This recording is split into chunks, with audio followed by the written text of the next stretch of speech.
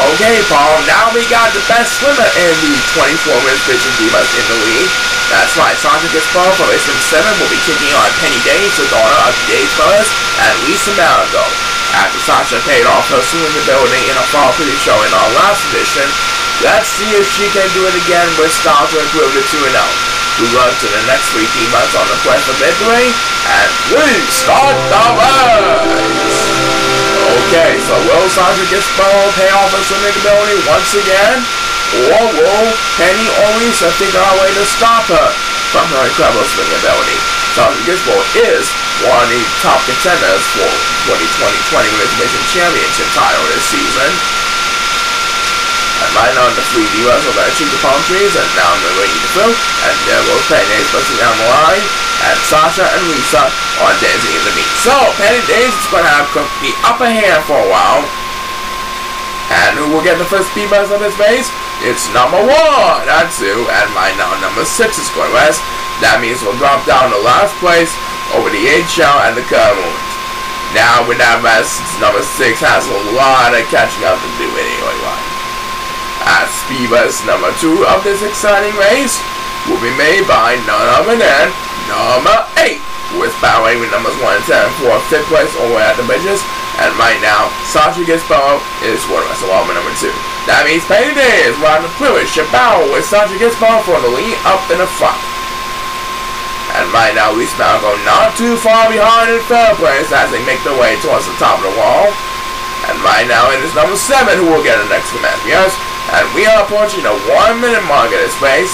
Right now it is number six, who is still left behind in the competition all the way in the back. He is trying desperately to catch up with the Emerson Chow of the crowd. And it looks like number one will get the number two. That makes his second speed buzz in the race. And Lisa Malcolm is going back. So he'll move up a couple places.